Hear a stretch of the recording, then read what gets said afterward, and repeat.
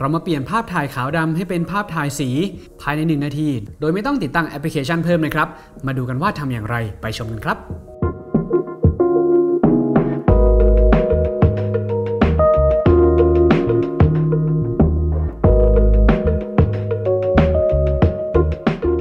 ถ้าใครมีรูปถ่ายเก่าๆนะครับ สมัยรุ่นคุณพ่อคุณแม่ของเราคุณปู่คุณย่านะครับ ย้อนหลังไปเป็นกล้องฟิล์มที่ถ่ายรูปออกมาแล้ว รูปที่เรามีนั้นเป็นภาพขาวดำแต่เราอยากจะเห็นว่าภาพนั้น ถ้ามันเปลี่ยนมาเป็นภาพสีนั้นจะให้อารมณ์อย่างไรบ้างนะครับ ซึ่งถ้าใครจะต้องใช้ Photoshop นั้นอาจจะยุ่งยากเกินไปสำหรับคนทั่วๆไปนะครับอาจจะไม่ถนัด วันนี้เรามีเครื่องมือหนึ่งครับชื่อว่า Image Colorizer นะครับ ซึ่งเป็นเครื่องมือที่อยู่บนเว็บไซต์ เราไม่จำเป็นจะต้องดาวน์โหลดแอปพลิเคชันเพิ่มเติมแต่อย่างใดนะครับ สามารถใช้งานได้ผ่านทั้งสมาร์ทโฟน ทุกรุ่น ทุกยี่ห้อนะครับแท็บเล็ตคอมพิวเตอร์โน้ตบุ๊กตั้งโต๊ะอะไรได้หมดเลย ขอเพียงสามารถเชื่อมต่ออินเทอร์เน็ตได้นะครับ เข้าไปในเว็บไซต์ Image Colorizer นะครับผมได้แนบเอาไว้ที่ใต้คลิปนี้ และหลังจากนั้นครับให้เราเตรียม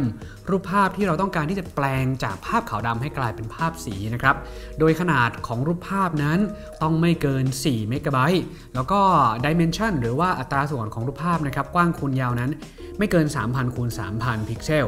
ส่วนนามสกุลของรูปภาพที่รองรับจะมีด้วยกัน 3 อย่างก็คือ JPG JPEG แล้วก็ PNG นะครับ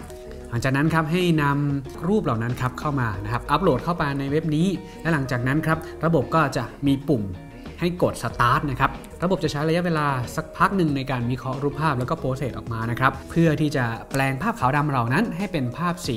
พอระบบทำการประมวลผลเสร็จครับ จะมีปุ่มดาวน์โหลดให้เราสามารถกดเข้าไปดาวน์โหลดรูปภาพเหล่านั้นออกมาได้นะครับเท่าที่ผมลองทดสอบนะครับ ผลงานที่ได้ค่อนข้างเป็นที่น่าพอใจเลยทีเดียวนะครับ AI จะพยายาม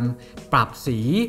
ใส่สีในบริเวณที่เราต้องการนะครับ รูปคนจะเป็นสีแบบไหน ต้นไม้เป็นสีแบบไหน อาคารเป็นสีแบบไหน แม่น้ำเป็นสีแบบไหน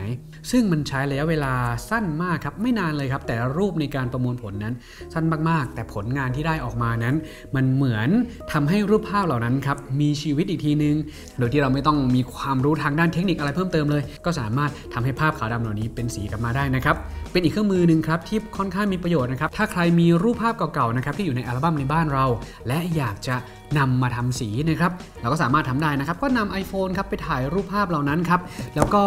ใช้ iPhone นี่แหละในการอัปโหลดรูปขึ้นไป แล้วก็แปลงเป็นภาพนั้นออกมาซะนี่ก็เป็นวิธีการที่เรานำมาแนะนำกันนะครับ กับเครื่องมือที่ชื่อว่า Image Colorizer ถ้าใครลองแล้วชอบไม่ชอบยังไง คอมเมนต์มาที่ใต้คลิปนี้นะครับผมไว้เดี๋ยวเราพบกันในรอบหน้าผมต้องไอ้มาขอตัวลาไปก่อน สวัสดีครับ